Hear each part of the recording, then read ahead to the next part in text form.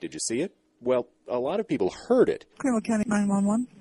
Yes, ma'am. Uh, have y'all had any reports of an explosion down in Fork Shoals area? Calls poured into emergency dispatchers across the upstate. Callers said it sounded like a crash. Amy Wood thought someone was kicking in her door. You know, there's that whole 2012 Mayan thing. And the National Weather Service says something was probably speeding toward Earth from outer space. You were awake about 1:40 this morning. You may have noticed a mysterious bright light in the night sky.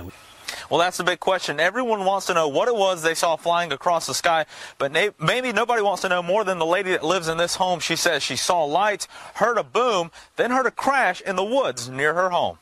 This video sent in by Joseph Fiddler of Greenville shows the light reflecting off his car's windshield. All units, check your mic for an open mic on channel 1.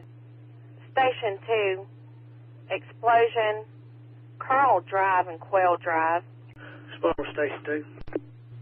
I copy. Explosion. Station 2, that's affirmative. Explosion, Carlton Drive and Quail Drive. We're getting these all over the county. Copy. Charlie 50, check an explosion. Got Station 2 en route as well. Carlton Drive and Quail Drive. Be advised, we're getting these all through the county. Saw a falling star about 10 minutes ago. I don't know what that got something to do with it. Sorry, can you say the area? I don't really have an area. We're receiving numerous calls in reference to a loud explosion in the area. We probably received about 50. And the, um, something was streaking across the sky headed towards Greenville, and there was a loud explosion.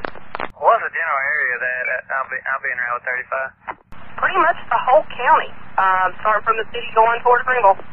Charlie 17, I saw it on 357 way out by old 357.